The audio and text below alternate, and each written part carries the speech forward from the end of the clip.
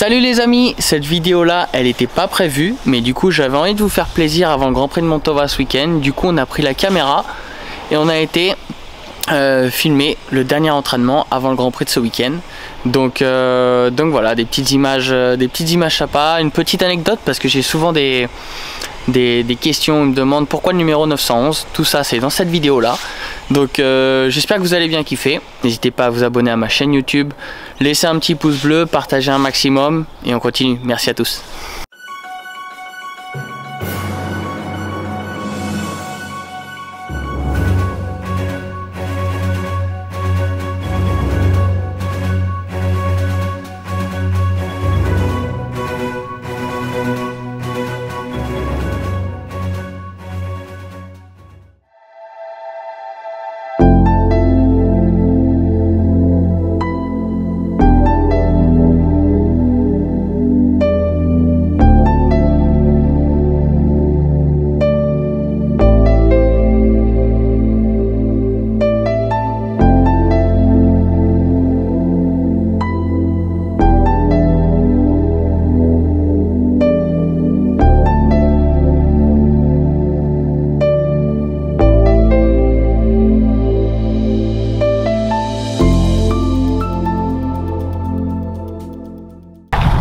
Salut tout le monde, on est aujourd'hui du côté de Machery au MX 911 donc euh, voilà la première épreuve du championnat du monde s'est très mal passée. Donc euh, voilà on, essaye de, trouver des solutions pour la prochaine épreuve.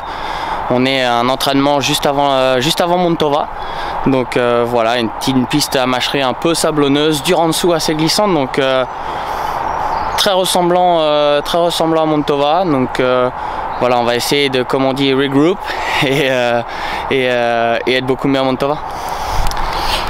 Petite anecdote, MX911, vous me le demandez beaucoup souvent, pourquoi le numéro 911 Donc euh, voilà, on est ici au MX911 du côté de Machery. Jean Aguetas, quelque chose, quelqu'un, une personne qui a fait beaucoup pour moi durant ma jeune carrière et encore maintenant, parce que par exemple, il m'ouvre la piste aujourd'hui bah, spécialement pour moi, c'était fermé. Donc voilà, euh, pour le remercier, on a décidé de prendre le numéro 911 et depuis il m'a jamais quitté.